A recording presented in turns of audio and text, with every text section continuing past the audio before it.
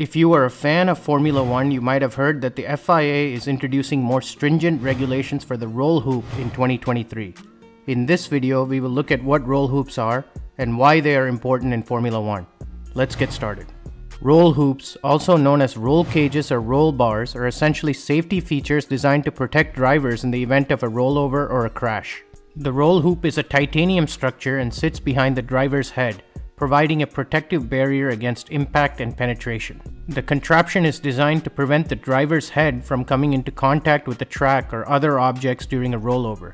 They also protect the driver from objects that may penetrate the cockpit during a crash, such as debris from other cars or barriers.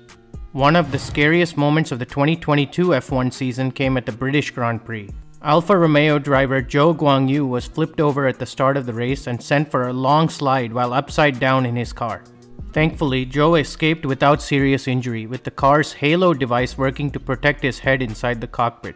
After a thorough investigation of the incident, it was found that during Zhou's slide, the roll hoop broke off due to the force of the impact, and his car slid across the surface resting on the halo device.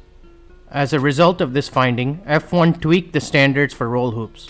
During 2023, Rounded tops are required on the roll hoop, which will reduce the chance of the roll hoop digging into the track during an incident.